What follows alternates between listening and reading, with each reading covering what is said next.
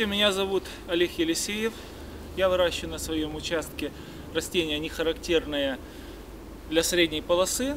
Хочу рассказать, поделиться опытом, э, благодаря чему у меня это получается. Первое, что нужно учесть при посадке э, растений, это количество ветра, количество освещенности и солнца и тени на участке. Желательно для южных растений, а здесь растут растения даже седьмой зоны, создать определенные теплые места и так называемые солнечные ловушки. Мы сейчас находимся на северной стороне участка. Впереди и вокруг нас находится лес. Э, здесь э, вырыт небольшой котлован, ну, с понижением от леса полметра. А за моей спиной находится живая изгородь, стена, ветролом. Для этого есть много названий. И тут э, два ряда хвойников. Э, первые туи и за ними э, ряд горных сосен, которые э, создают тепловую и солнечную ловушку. Их можно, э, как я говорил, называть ветроломами, потому что каждая хвоинка модифицирует э, ветер. Э, но самое главное их назначение – это споймать солнце и отразить его вперед э, себя.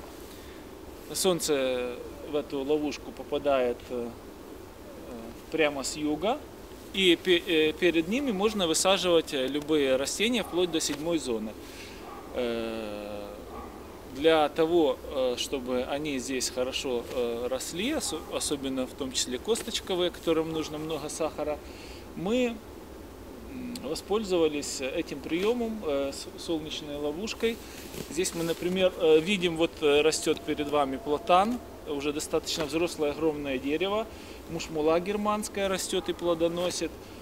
Также растут персики.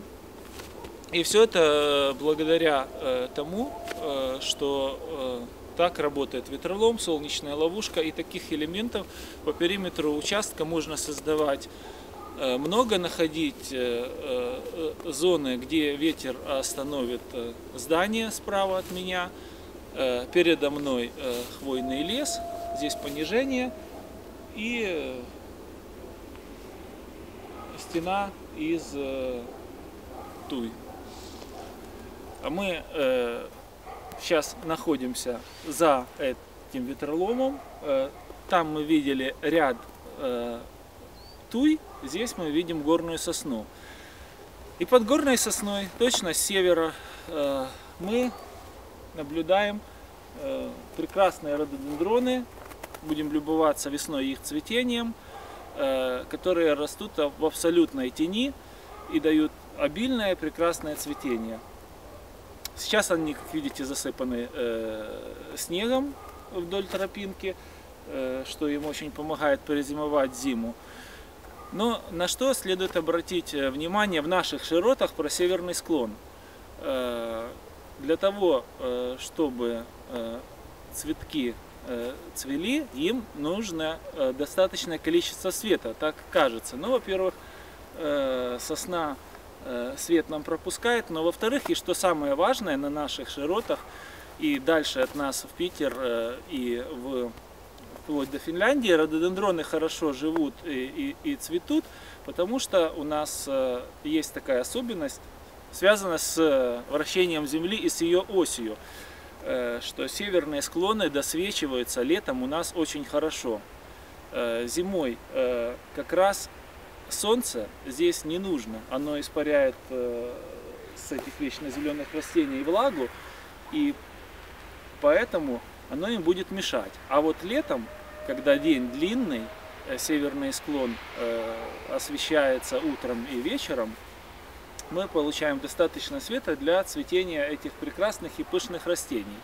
Так что если у вас э, есть на участке любой недостаток, допустим, такой как северный склон, вы можете по своему желанию превратить это в достоинство и достижения, посадив, например, там очень много красивых рододендронов. Полюбуемся на это цветение весной. С вами был Олег Елисеев. Подписывайтесь на наш канал.